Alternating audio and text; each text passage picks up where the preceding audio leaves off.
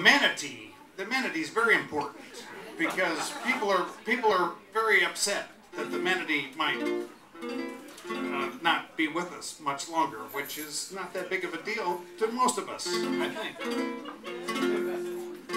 But I spent some time at Blue Springs State Park, north of Orlando, and I came up with a great song title, a song title called Man's Inhumanity to Manatee. and I went home and I wrote a song that now everyone calls the Manatee Song.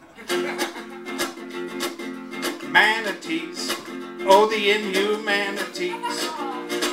Why do we have to have all this insanity to protect their vanity from the underhandedly? It's understandably a manatee calamity.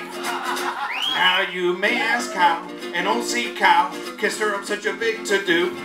Well, everybody knows it's like your old Aunt Rose. Sea cows need love too. Manatees, now may I speak candidly.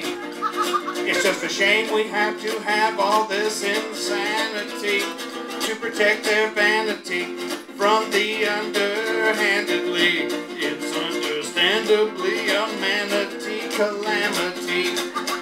When you go for a float on your big old boat, no matter how fast a one you own, cause when they're around, you gotta slow down.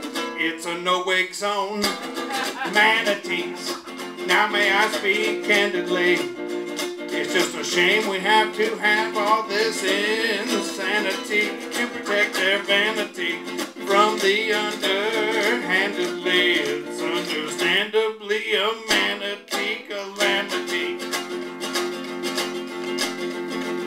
Oh, back to me, okay. Now don't you worry about a thing when you go to the springs and they swim up to you on the shore. Cause they'll never eat you or mistreat you. Cause they're herbivores. Manatees. Oh, the inhumanities.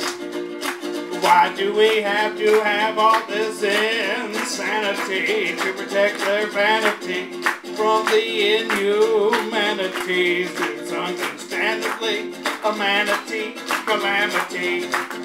It's understandably a manatee calamity.